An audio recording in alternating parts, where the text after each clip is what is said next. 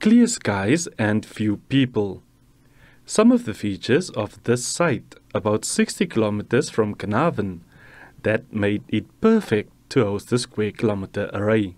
A low population means there's a very little light pollution, but also there's very little um, radio interference. Um, unlike if you are in a place like uh, Cape Town where everybody has a cell phone and there's a, a lot of um, radio noise going on.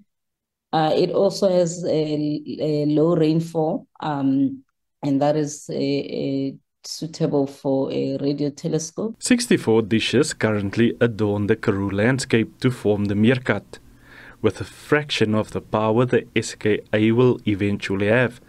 It has already made groundbreaking discoveries since it became operational in 2018. Been able to uncover things that, uh, you know, uh, up to now uh, it hasn't been uh, easy to, to for scientists to study. We've um, been mapping the center of the Milky Way.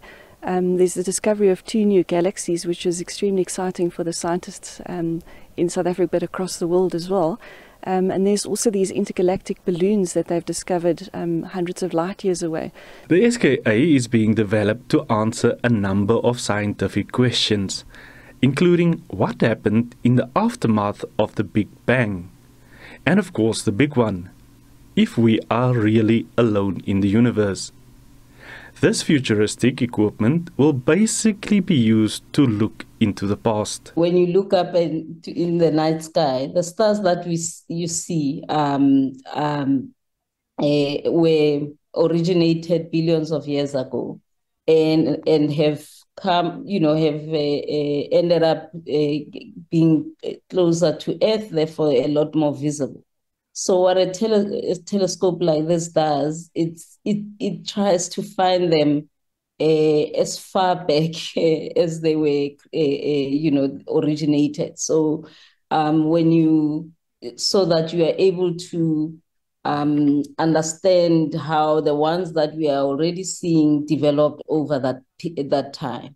So it's almost like you know in science movies when they talk about a, a time machine. Now they are ready to start the next phase, the 133 radio telescopes that will be constructed at a cost of 40 billion rands. We've got Meerkat, which is existing 64 dish array, and Meerkat will then incrementally be integrated into the SKA mid telescope. So at the end of the day, um, we will have 197 dishes operating for the mid telescope. The next phase of the SKA is expected to open doors for especially locals. Young people from the area are benefiting from bursaries that give them careers at the SKA. At the end of 2017, when the HERA project started, um, I actually applied there. I got the job, and since then, I'm in charge of the fiber. Apart from employing and empowering locals, the serendipitous discoveries from constructing the SKA is the processing and storing of big data, which are now being used in the financial sector. The installation of the SKA dishes is expected to take five years. Ulrich Hendriks, SABC News, Carnarvon, Northern Cape.